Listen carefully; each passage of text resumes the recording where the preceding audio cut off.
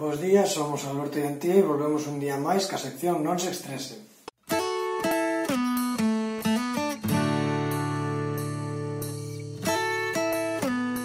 No vídeo da semana pasada estivemos falando dos IGRAS como parte dunha serie de vídeos sobre a diversidade no mundo. Esta semana pasamos da India a México. Hoxe vamos a falar das muxes. Son persoas que naceron en corpos de home pero que non se identifican como tal.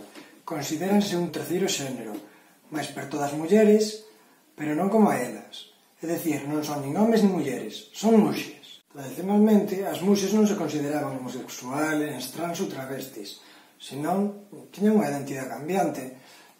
Non entraban dentro de, ningún, de ninguna categoría do colectivo LGTBIQ. Por que? Polos seus aspectos regionais e locais. E onde viven as muxas? Sabedelo? A verdade é que ten un nombre bastante raro, vale? así que se me equivoco non me, non me matedes. Viven en Juchitán de Zaragoza, no sudeste do estado de Oaxaca. Mostramos vos aquí un mapa para que vos situedes en México, vale? E son o 6% da población total do lugar. E agora a pregunta del público. Sabedes cal é a súa orixe histórica?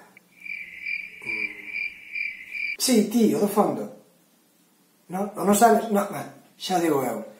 Hai unha lenda zapoteca que nos di que cando o seu patrón, San Vicente, paseaba con tres sacos de gran, un que era un saco de gran masculino, un saco de gran femenino e un saco de gran mixto, cando chegou a Juchitán, rompeuselle o saco mixto, creándose os muxes. Outro lado, en México, é unha sociedade moi tradicional, con, un, con uns roles sociales moi marcados.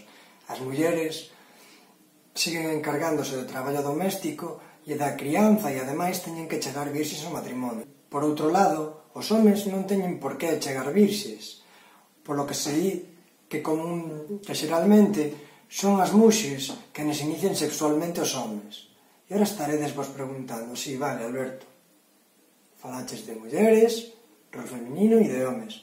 E que hai das, das monxes? As monxes asumen un rol feminino, son as que se encargarán de coidar os pais cando, cando estes sean maiores e do cuidado doméstico. Por que pasa isto?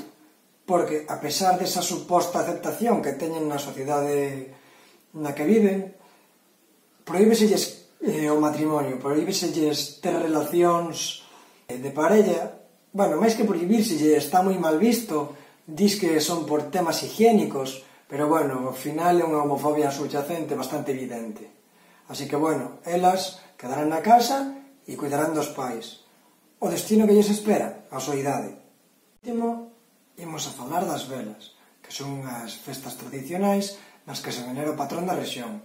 Neste caso, as muxes, na década dos 70 crearon as súas propias velas, aquí tedes o seu nome, é un nome moi largo, a miña memoria non dá para tanto, e, bueno, reúnese toda a ciudad e son unhas grandísimas festas nas que incluso se escolle a reina das muxes. Van todas traxeadas e é unha diversión para todo o mundo.